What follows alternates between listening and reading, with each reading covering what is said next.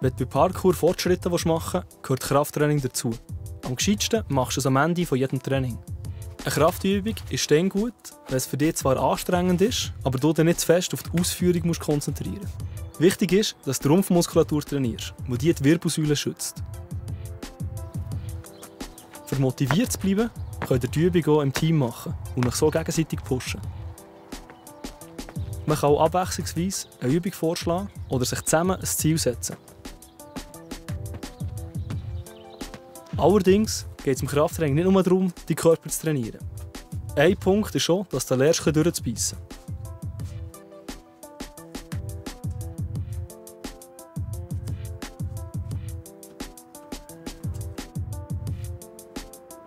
Ausdehnen hilft dir, nach dem Training zu entspannen.